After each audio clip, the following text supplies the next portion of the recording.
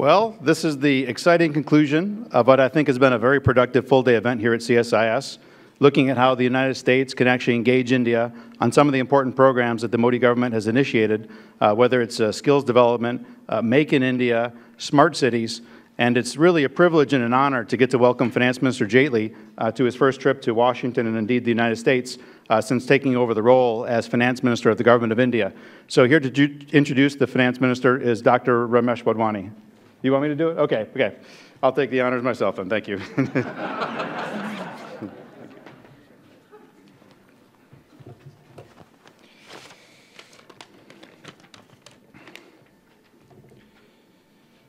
So, Minister Arun Jaitley holds three ministries simultaneously the Ministry of Finance, the Ministry of Corporate Affairs, and the Ministry of Information and Broadcasting, which really is a strong sign of his abilities and the trust that Prime Minister Modi and his colleagues have in his intelligence and abilities. He already has made a strong mark on the finance ministry since taking it over less than a year ago, ushering in key fiscal reforms such as devolving more spending, which got a lot of attention today in the program so far, to the states, lifting FDI caps in key sectors such as insurance, and may be on the verge of a major domestic tax overhaul, the goods and services tax, which has also been the subject of much discussion today at the proceedings. A lawyer by training, Minister Jaitley rose to become a senior advocate before the Supreme Court of India, but drawn to politics, he became a national executive for the BJP back in 1991. During the last NDA government from 1998 to 2004, uh, he held a series of important portfolios in that government as well, including the Ministry of Law and the Ministry of Commerce and Industry. And even while his party was in opposition in the last 10 years, his party gave him important leadership positions, including as leader of opposition in the Rajya Sabha. So we warmly welcome to Finance Minister Arun Jaitley uh, to the stage here at CSIS uh, for his first remarks in the United States and taking over this role. Uh, Minister Jaitley, the uh, floor is yours, sir.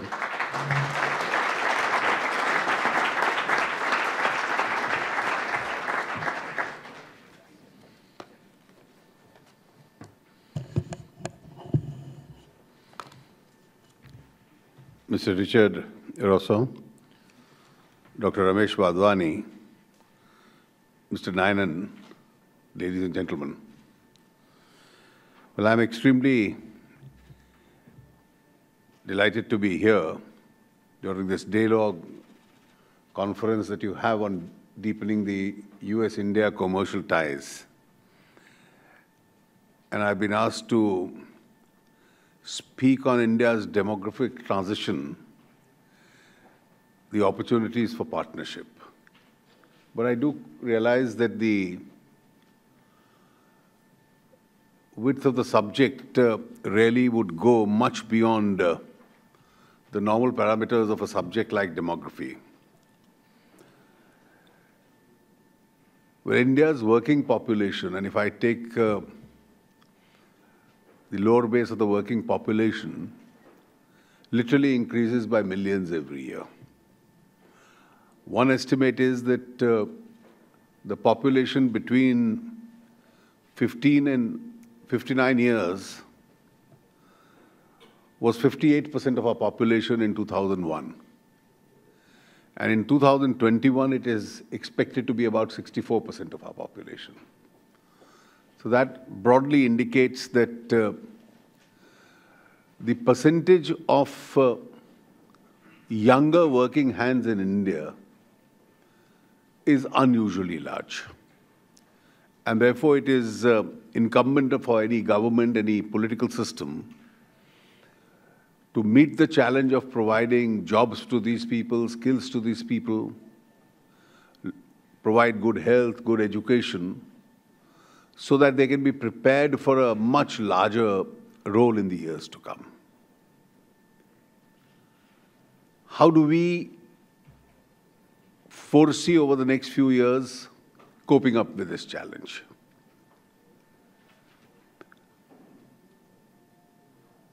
I think the first obvious answer is that India's own normal in terms of its growth rate has to target anything close to a double digit. India growing at 5%, 6%, even 7% is not an India which is going to face up to this challenge. And I do believe that India has that potential to make 9 to 10% its new normal in the years to come. how do we reach that roadmap? And once we achieve that, to generate jobs for the ability of this uh, population is going to be, though challenging, reasonably possible. The roadmap which we've currently laid for ourselves, the first aspect of that is that we are very strongly strengthening all our regional, our state, provincial governments.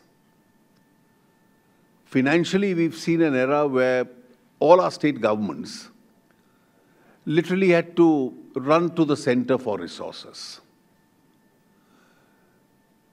Today, it's a different ballgame altogether. Conventionally, we have been speaking and paying lip sympathy to a commonly used phrase in India, which is cooperative federalism. But we actually now see it in action. In the new partnership between the center and the states, the revenue of the states has been hugely increased so that they can invest a lot more both in social infrastructure and physical infrastructure. They can invest a lot more in their poverty alleviation schemes. So each state this year onwards is going to get 10% more than what it did in the previous years. This has also led to another form of uh, federalism in India, which we've now started referring to as competitive federalism. State after state is competing with each other. They are competing to woo investments. They are competing uh, to provide a better infrastructure. They are competing to create better universities and so on. Now, that's, that's a process which is on. The second emphasis we've, which we've laid down is increased significantly our investment in infrastructure.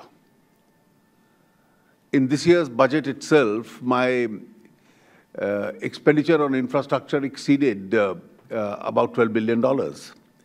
Now, our main emphasis is to start rebuilding our national highways.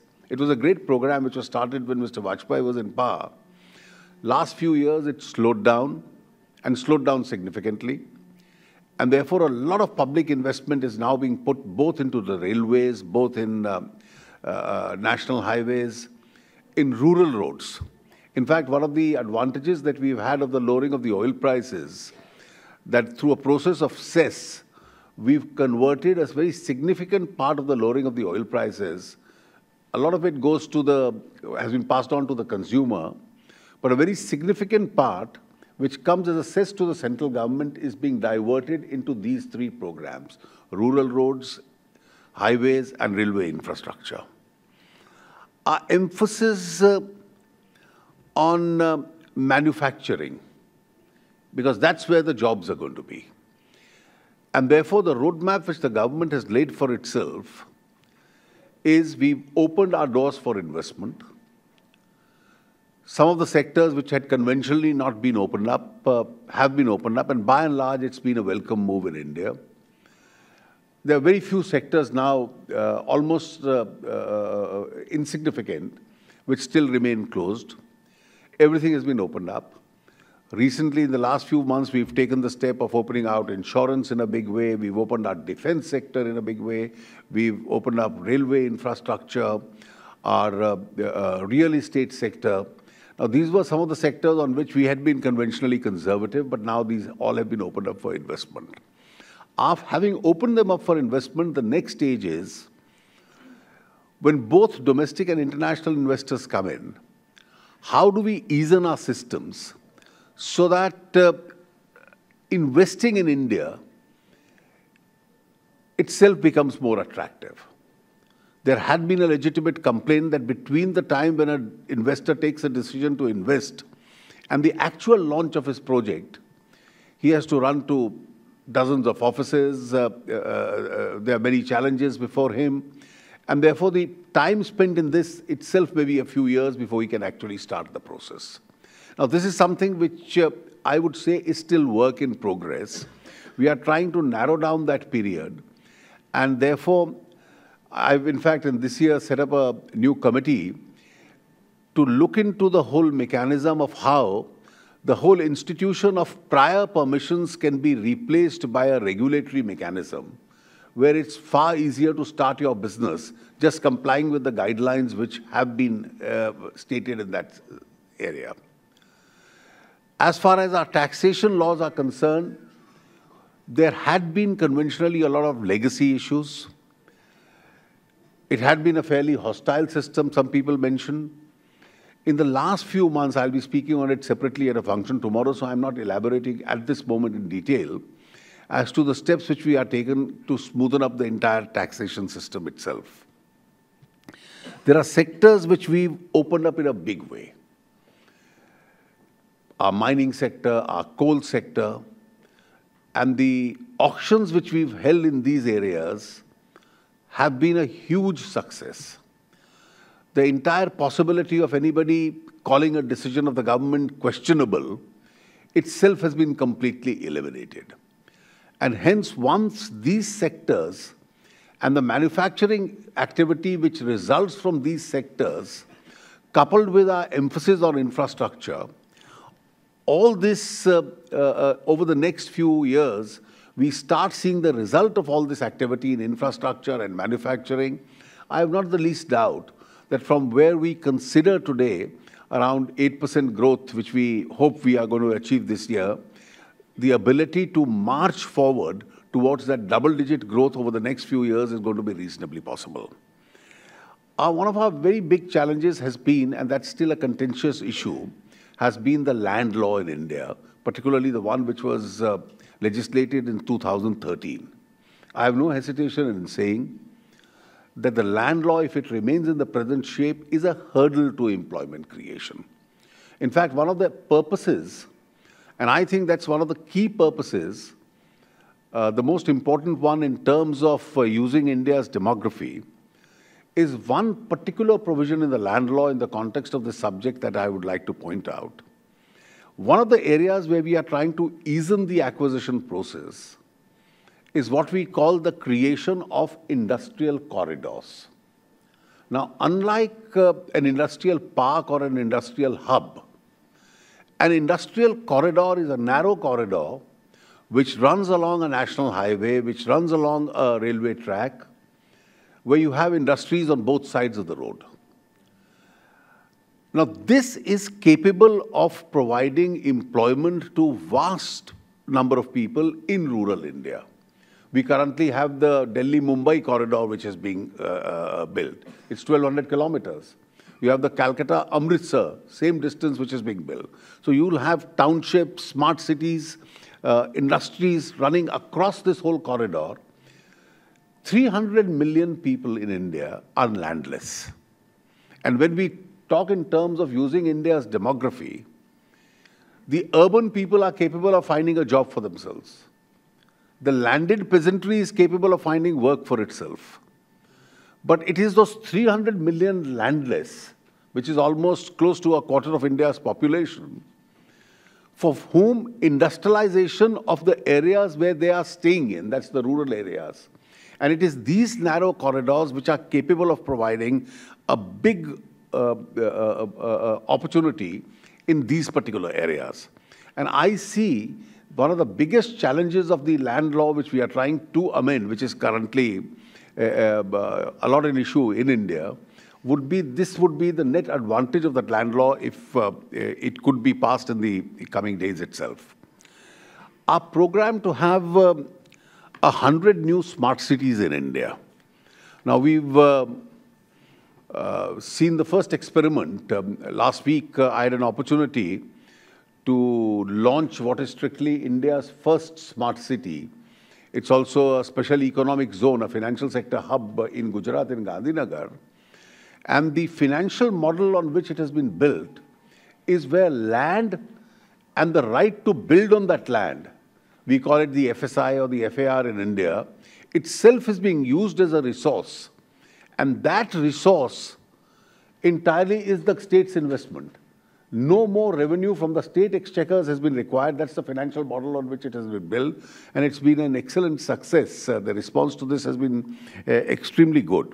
Uh, it's something which is worth emulating. Our skill development program has just started, and I think it's the success of this program itself which eventually can take us in the direction of generating a huge workforce with a large potential for employment itself. The weakest sections of society in India, we've started a huge social security program. We call it the Jan Dhan uh, uh, uh, program, where every economically deprived person who had no access to a bank, a banking facility he's been linked to. Today, we are in the process of uh, cash transfer to his accounts, supported by a social security program itself, uh, which the government has launched in this current budget, which in the course of uh, some questions, if there's an opportunity, I'll try to explain in detail. The Indo-US uh, partnership, gradually it's reaching a new height. There's a huge amount of cooperation. And for each of these programs, we need a lot of investment, both domestic and international. And for each of these in the areas of skill development, in the areas of education, in the areas of infrastructure, in the areas of manufacturing, it is here if the investment starts coming in, I think uh, the entire issue of providing skills and jobs to this great workshop, workforce in India would be reasonably possible. Thank you.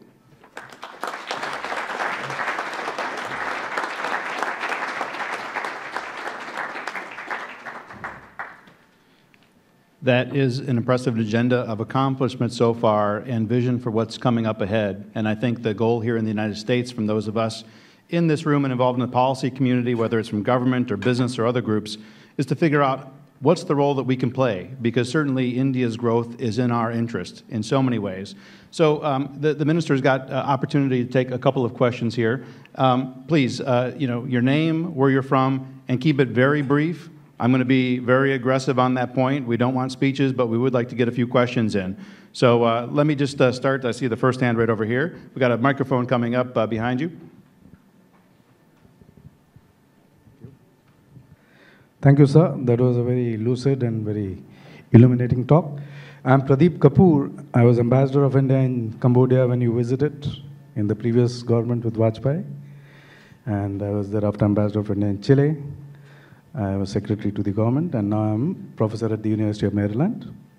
Uh, so, uh, my question to you is what we feel from seeing the media in India is that a perception is being sought to be created uh, that there are many shortcomings, there are many problems with governance issues in India. Uh, how is the government planning to tackle this very serious issue? Because half of the aspect of development takes place when there's a good economic sentiment. So that is there, and the perception globally of the government is very good. So what are the steps that the, in spite of all the great steps you have undertaken, the government has undertaken in so many different social sectors, economic yeah, I sectors. Think we, yeah, thank you. Uh, thank you, sir. Take the microphone. Yeah, perfect. Thank you.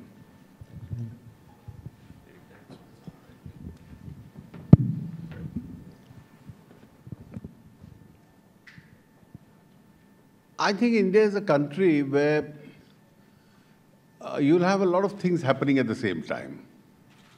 And therefore, in a country of India's size, which is almost a continent with a very large population, uh, you can have uh,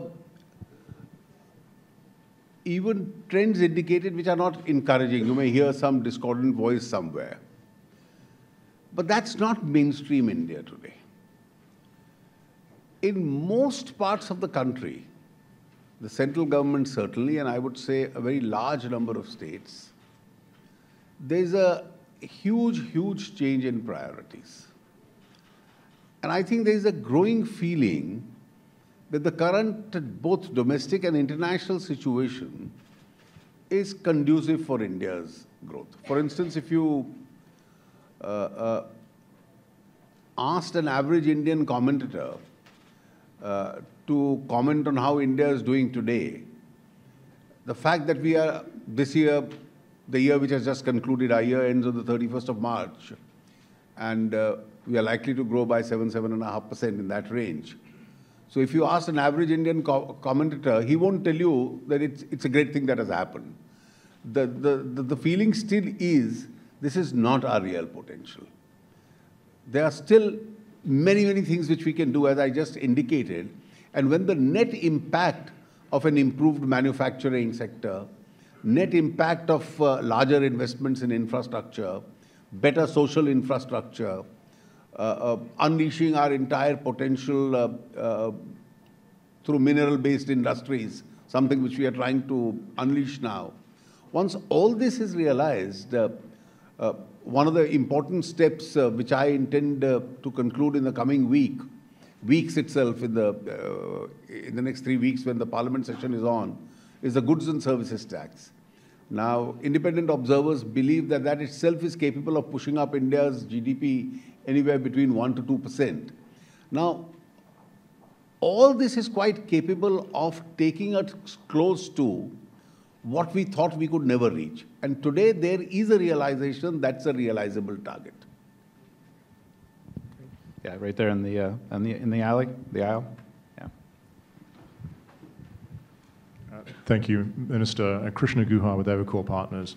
I was particularly interested in your discussion on the importance of manufacturing as a source of job, high quality job growth in India going forward. Now, of course, historically, small scale reservations on the one hand and uh, restrictive labor laws on the other have been seen as some of the disincentives for large scale investments in manufacturing in India.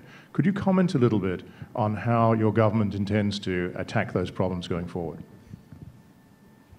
You see, the, the whole institution of erstwhile reservations is now substantially diluted. Uh, one of the reasons uh, we have to keep our emphasis on uh, helping the small scale entrepreneur because considering the size of India and its population, there's a very large section of self employed who are involved in those trades, businesses, manufacturing. A recent census showed that it's almost uh, uh, uh, 5.77 crores, which means uh, uh, uh, if, if you translate it into number of families, it'll almost mean 20% of Indian families are involved in this self-employed business, uh, which, which, which has no sources of external funding, etc. We've, we've launched one of the schemes a few days ago, which I had announced in the budget, called the Mudra Bank where we are trying to fund this unfunded section. And therefore, this is a workforce which has to be involved. Now, unless I can have structured uh, medium and large scale uh, manufacturing which involves each one of these, uh, there is no way I can um, uh, have any policy or the government can have any policy which uh, hurts this interest, which is self-employed. Now, having said this, amongst various reforms, labor laws will remain a challenge. Now, a particular formulation has come about where I mentioned in the opening comments uh, with regard to competitive federalism. Now, in some of the more progressive state governments have started, we, we've made some amendments. I won't say they're very significant, but some state governments have started asking for some very significant amendments. Now, earlier the central governments used to say no because it requires concurrence of the center uh, because it's otherwise clashing with the central law. Now, we as a policy decided that every state government which asks for an amendment to its labor laws to by and large agree to that request. Now, we've agreed to those requests. So a new formulation in that is being worked out. Now, the effect of this is going to be you'll probably have uh, sets of states which have more progressive labor regimes. And therefore, as a part of cooperative federalism, those who don't reform will have to compete with them. Great. I think we have time for, uh, for one more. So uh, allow me to, uh, yeah, uh, I think uh, back over on the side there, gentlemen. Yeah, right on the other side of the uh, row there.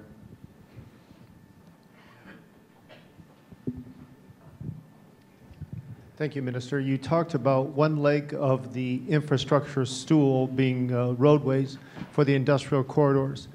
What is your roadmap for investment in infrastructure for potable water and power to those industrial corridors?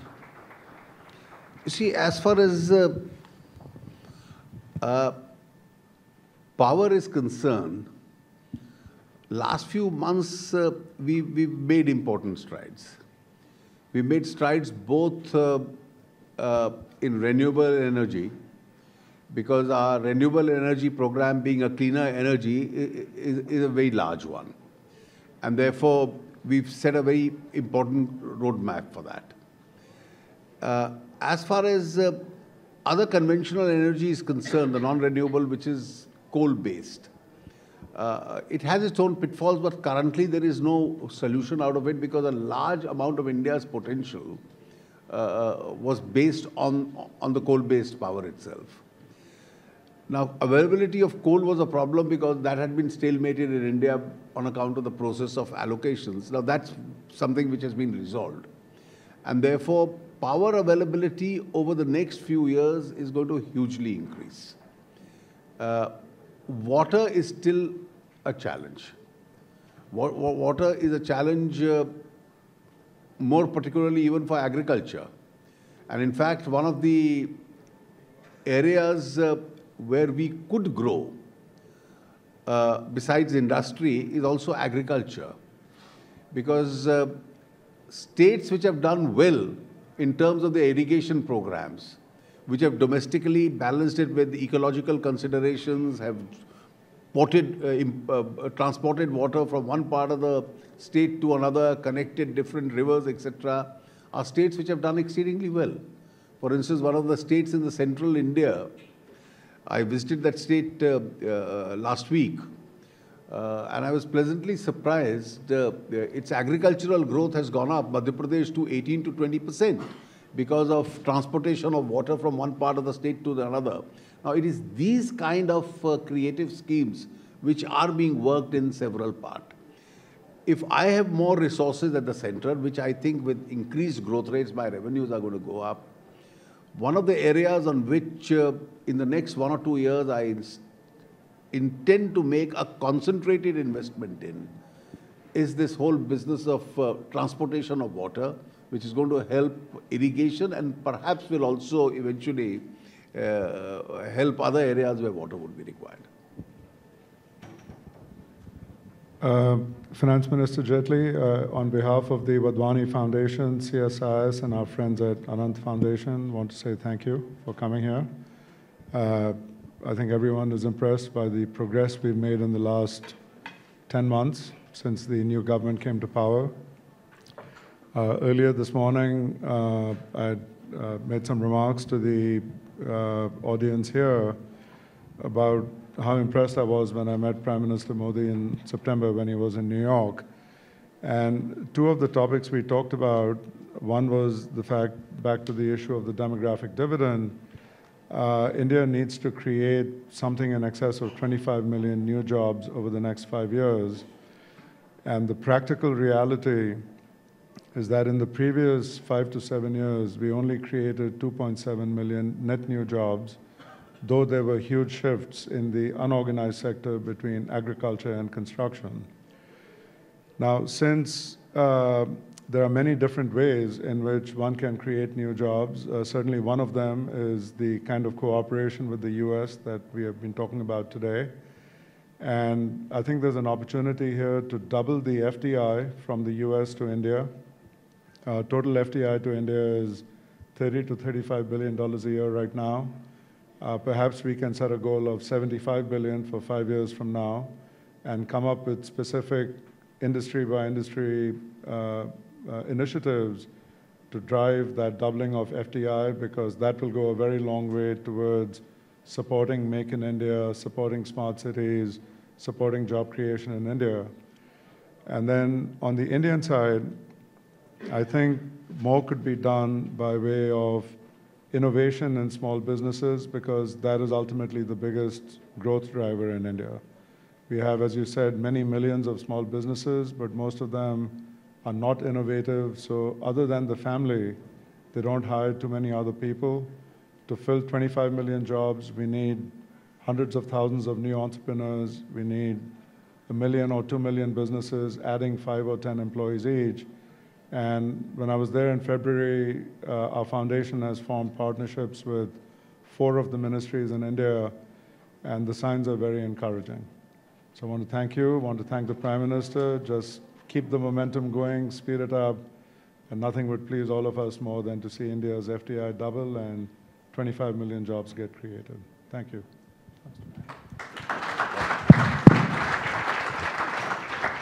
Um, uh, in, uh, in closing, I'd like to first thank the Finance Minister for being here with us today, despite his very busy schedule in Washington. Um, you've, you've heard what he has to say, and it's clear the government has a clear agenda. Uh, it's focused on getting the job done. And in Mr. Jaitley, we have somebody who's got clarity of mind, lucidity of expression, and is leading the attempt to get the economy on to double-digit growth. Uh, we've been here from the morning. Uh, we've had many panelists, uh, many speakers. I'd like to thank them all. Some of them are present here. Mr. Panda, the finance secretary, was here, uh, and several speakers from the corporate sector and uh, knowledge partners. So I'd like to thank CSIS for organizing this, Rick for all the efforts that you put in, uh, Mr. Wadhwani uh, for your partnership in this and your leadership, and to say thank you all for being here. Uh, it's been a rich day, and I'm sure we all have takeaway thoughts that will stay with us. Thank you very much. And we'll have a uh, reception up on the veranda to follow, too. So please join us for, uh, for a reception back there.